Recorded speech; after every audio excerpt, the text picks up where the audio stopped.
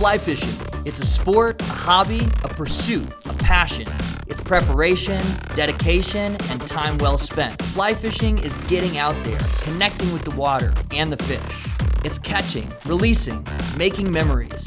It's meeting new people, finding new places, and having a lot of fun.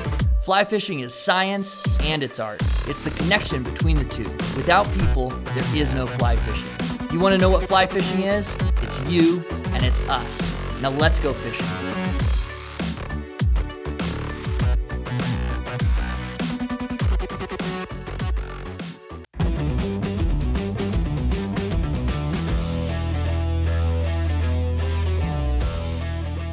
Hey everybody, I'm Ben. And I'm Jeremy with 5280 Angler, and we're here with Denver Outfitters today. We're going to talk about preparation.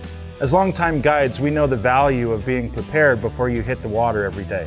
Uh, we're going to talk about how we approach it as a guide. Before you go out in the day, you want to make sure that you're checking the stream report. You can then get your rod ready, uh, rigged up, and, and uh, set it in the rod vault so you're ready to go in the morning. Another thing I can't emphasize enough is the importance of packing a lunch. I get my Yeti cooler loaded up with sandwiches, cold beverages. That way I am not hungry on the water. I'm gonna fish longer. I'm gonna have more time fishing. The last thing you wanna do is you wanna get all your gear stashed into your rig the night before. That way in the morning, all you need to do is worrying about getting that cup of coffee and heading out to do some fishing.